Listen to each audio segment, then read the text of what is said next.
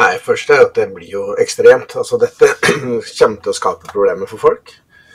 Og så andre er jo den store overraskelsen for meg, er jo retningen. Dette kommer, beklager, eh, kommer østfra og treffer da Østlandet med full kraft, mens vi i Norge er mye mer vant til at været kommer vestfra og innover.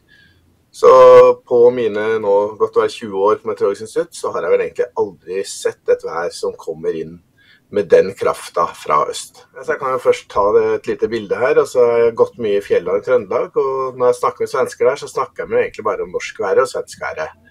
Eh, været i våre områder kommer stort sett vestfra. En klassisk situasjon er at det spinner opp et lavtrykk eh, ved Grønland, herjer litt med Island, og så kommer det skliende inn mot vestlandskysten, Møre eller Trøndelag. Det er liksom standard kraftig vær i Norge.